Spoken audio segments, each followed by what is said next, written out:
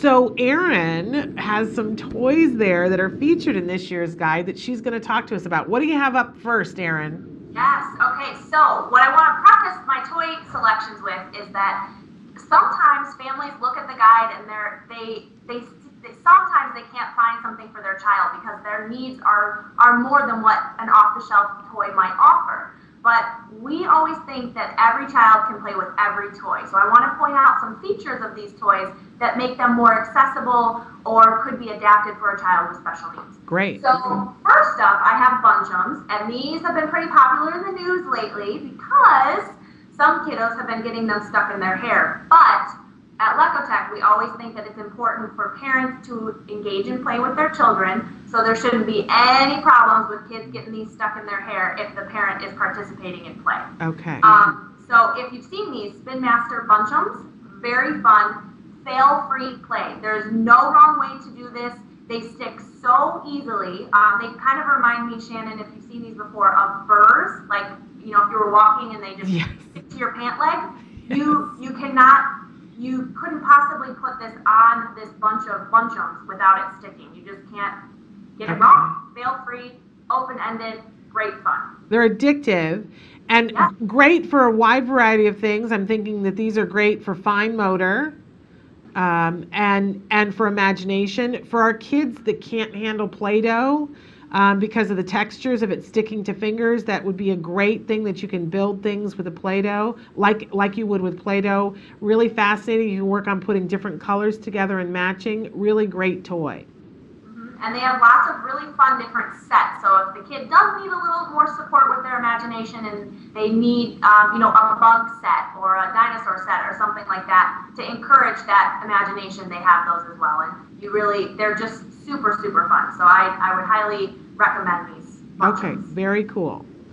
So then next um, on my list is this fun guy here by Fisher Price. Fisher Price Beat. He is just flying off the shelves this year, so you need to go out and get him if you're interested. But the reason why Lekotek loves this toy is because he really engages all types of learners, right? So we have their, our kinesthetic and tactile learners, we have our visual and our auditory learners, and he really engages all four of those learning types.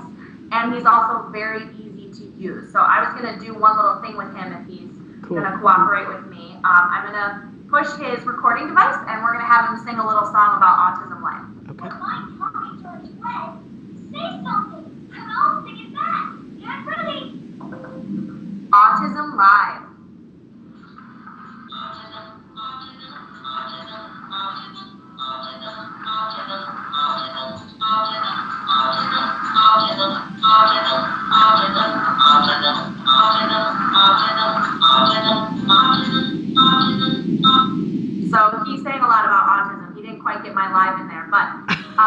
He's so cute, songs though.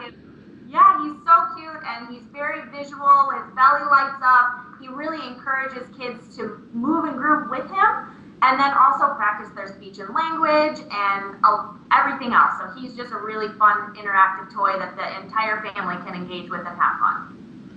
Really, really cute. And, uh, you know, we have seen time and time again those toys that when you talk to them, they repeat back what you say. So reinforcing for our kids who are beginning, emer- have emerging speech. Um, it makes them want to talk more. And if the if the toy doesn't understand them, um, it makes them work on their uh, articulation in their diction. It's it's a really amazing thing. So great, fun, reinforcing toy. I love it. He's got a nice social emotional aspect to him too. So he's like a child's friend, you know. So it encourages them to interact with others after they interact with him, and it's a, a confidence booster to go out and talk to peers. So Love it. Really fun. Love him. So the next one on my list is the Playskool Elephant Ball Popper. And of course, if I push him, he's probably going to go everywhere. But the thing that we like about him that, that is adaptable is his trunk right here on the top. It turns in lots of different directions. So depending on the child's mobility, we can have the balls go right back inside of his ears instead of flying everywhere.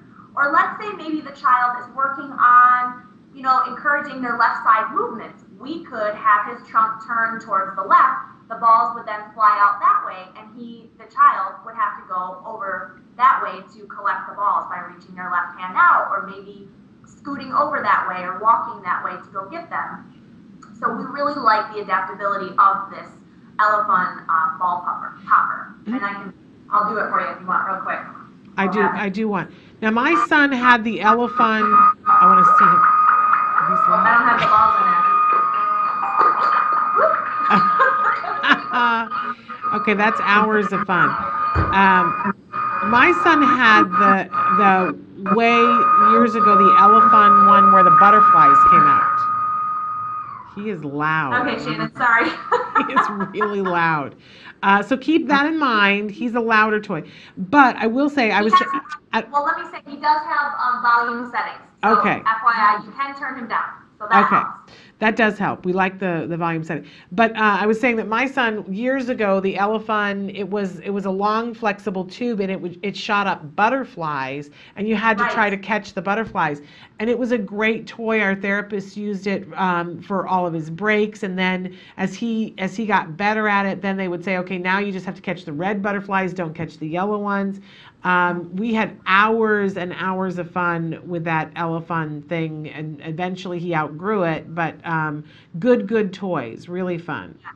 Agreed, yeah. So this is our, our new updated version of that, the butterfly one. balls. And, you know, again, like you said, it, there's so much adaptability with him and different ways to challenge kids. Once they um, are familiar with it and they know how to interact, you can adjust his trunk and, and have the child uh, play with it in a different way. Love or it. you could get, um, you know, a net for them to catch the balls up in the air, or only have them catch a certain color. So exactly, there's a lot of ways to play with elephant. Absolutely love it. Okay, what else have you got there? So the last two on my list. Don't you want to go to Ahren's house? Doesn't everybody want to go to Aaron? You guys should come over. We always love visitors. Chicago, wintertime, not so great, but you are more than welcome to come. okay, so Um, what is that? the, last, the last two on my list are Playmobil has a new line of products called Summer Fun, and they are carnival sets that kids build, right? That's what Playmobil does. They want kids to build. Um, but what is so exciting about these is they all have light up features and movement. So there's a really nice reward for the child after they get it put together. And if they can't put it together all by themselves, what a wonderful way for siblings or parents or grandparents to work with them to help put it together. There's not a million pieces. It's it's really not super challenging. It won't take hours and hours. Um, so it does have some fast reward to it. But the thing we really love about this is that it has a manual crank with it where the child would have to turn it themselves to see the um, Ferris wheel or the um, carousel move. But Playmobil was brilliant, and they have an accessory that you can purchase that makes this um, in uh, like a battery operated toy. So they can plug it in, and it will always and rotate Okay. that we love that. That is one of the things that we just absolutely loved about this because all kids can access it that way. Or maybe they want to use it in their room at nighttime where it provides them some sort of sensory feedback that they need ongoing versus manually turning it where they might get frustrated. So we mm-hmm. love this about Playmobil. Love it. Love Playmobil. And what's the, I see the last one that you have there. I, I can't wait to see what that is. Yeah, so this one is the carousel. It's a really big one. Okay, cool. So same situation, lots of different types in this line that they have of summer fun. Um, and this winter we might need some summer fun, so this might be a great one to have um, at your holidays to um, you know rejuvenate with some sunshine from summer fun Playmobil line. I love it.